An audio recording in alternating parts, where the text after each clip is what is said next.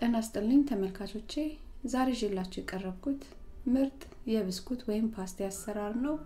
እንደምትወዱት እርግጠኛ ነኝ። አሁን ወደ አሰራሩ እንሄዳለን።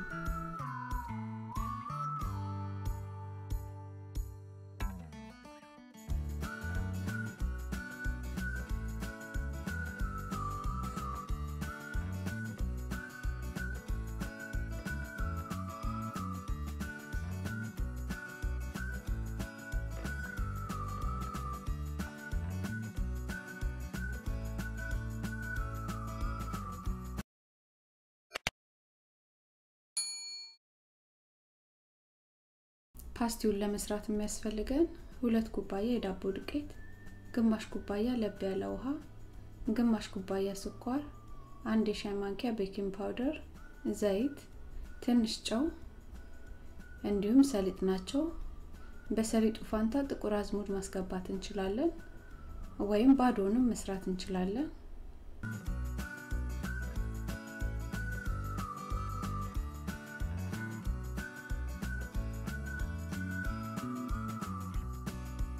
ሰፋና ጎድጎድ ባለ ሳህን ላይ ዱቄቱን፣ ጨውን፣ ሰሊጡን፣ ስኳሩንና baking powder ኡን እናስገባና በደንብ እስኪዋሃዱልን ድረስ እናደባልቃቸዋለን።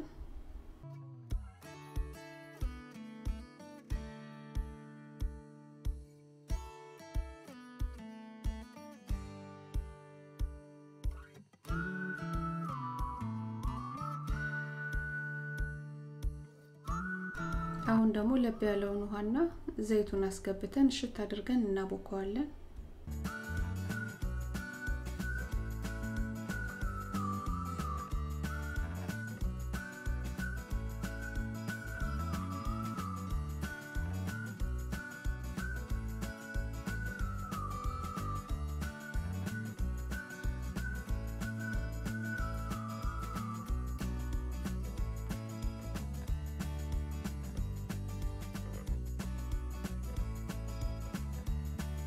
እንደዚህ ሽት አድርገን ካቦካ ነው በኋላ ከ10 እስከ 15 ደቂቃ የሚሆን ሸፍነን እናስቀምጠዋለን።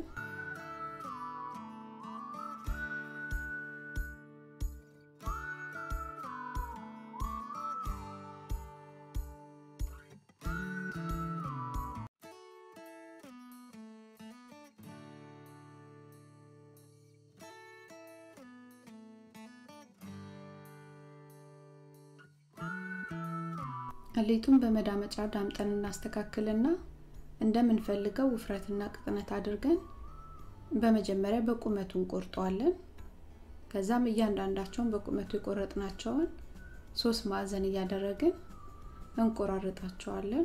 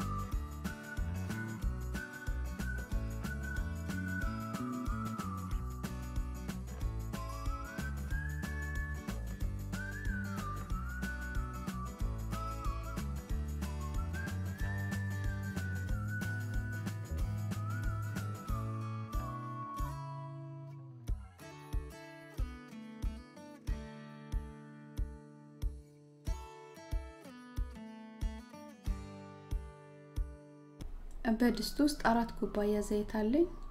ዘይቱ ሲግልልኝ ሶስት ማዕዘን ቆራርጬ ያዘጋጀዋቸውን የብስኩቱ ሊጦች አንድ ባንድ እያስገባው ጠብሳቸዋለሁ።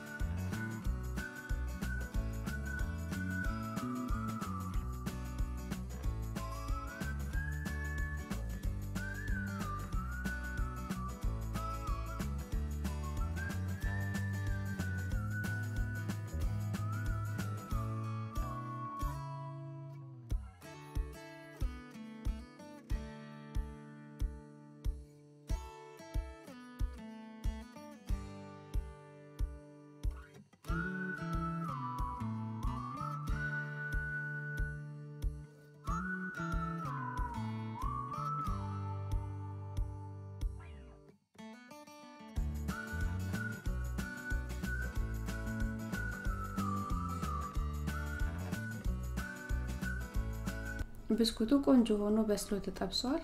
ብስኩቱን ለቁርስና ለመክሰስ መጠቀም እንችላለን።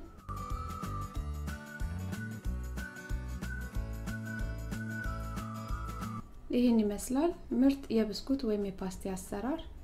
እንደወደዳችሁት እርግጠኛ ነኝ። አስተያየት፣ ጥያቄ ካላችሁ እቀበላለሁ። አመሰግናለሁ። ደህና ሁኑ።